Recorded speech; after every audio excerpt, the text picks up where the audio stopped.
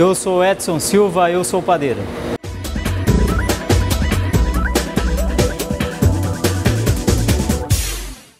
Panificador ou padeiro? Para muitos, o que mais importa é o produto final. Um pãozinho, pode ser? Claro que pode. Mas como isso seria possível sem o nosso personagem? É aí que aparece o Edson, profissional dos bastidores, mas que exerce o principal trabalho de uma panificadora. Aliás, é uma rotina e tanto ser padeiro. Depende muito do daquilo que está para você produzir no dia a dia, né? Um dia mais devagar, outro dia você produz mais, entendeu? E assim vai. Um dia corrido você pode fazer até 3 mil, 4 mil pães por dia, entendeu?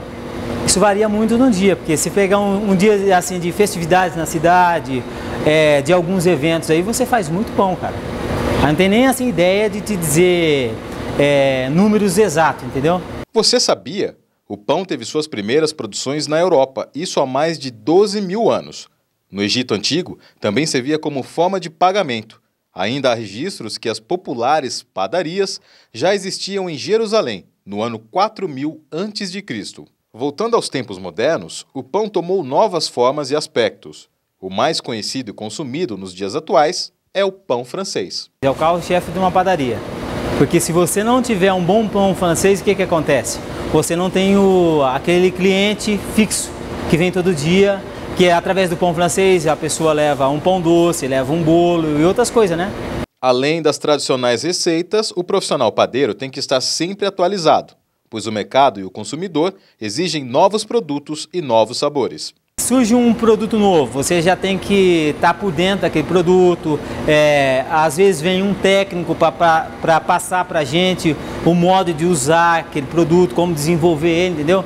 Então a padaria trabalha muito no que está correndo no mercado, né? A gente está sempre informado, né? E sempre se fazendo uma reciclagem, né? Porque se você parar no tempo, cara, você só fica no pão francês, né? Mudando de assunto, esta profissão tem um lado muito peculiar. As famosas piadinhas sobre padeiros. Ah, você sabe que piadinha para padeiro é o que não falta, né? É queima rosca, é... e vai e vai, né?